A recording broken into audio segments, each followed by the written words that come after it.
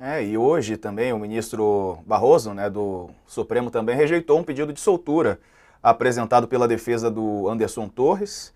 Ele está preso aí desde o dia 14 de janeiro, Sakamoto. Alguns juristas, até o nosso colega aqui, Walter Maierovitch, falam que talvez fosse o momento de Anderson Torres sair.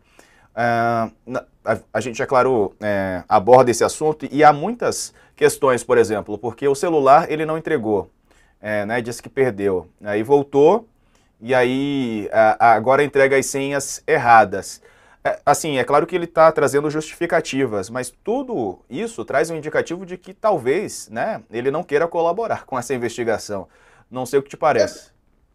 Ô Diego, acho que até pior, na verdade. Eu tenho ouvido com muito respeito juristas que defendem, né, e falam: olha, eu acho que o momento de ele não pode mais contribuir com nada, com investigação, é o momento dele ganhar por conta disso a liberdade, né?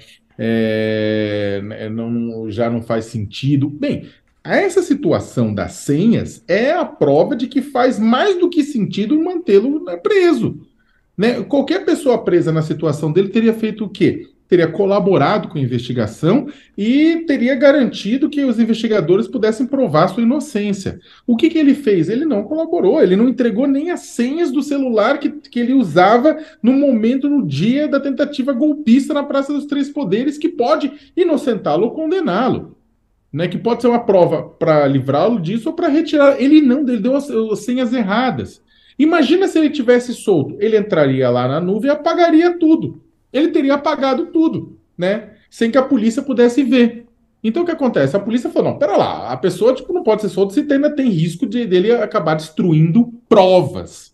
E o que ele poderia ter feito é exatamente destruir provas na nuvem, onde está guardada informação fundamental para a gente resolver tudo isso. Como eu já repeti várias vezes, Diego, eu sou contra a perversão do instrumento, que já ficou conhecido como delação premiada, Pessoas foram condenadas, de fato, em praça pública durante a Operação Lava Jato, com base em confissões de criminosos que queriam salvar a si próprios sem a preocupação de que os fatos fossem verdadeiros. Feita essa ressalva, faria muito bem à República e bem a Anderson Torres que contasse tudo que sabe da verdade, ao invés de copiar Jair Bolsonaro na desculpa da, do uso de drogas para não saber o que está dizendo. Não faz sentido ele manter lealdade a um político conhecido sistematicamente por passar a perna em antigos aliados, abandonando eles na beira da estrada quando melhor lhes couver. Ele convira. É isso. O Sakamoto, vamos dar uma olhada.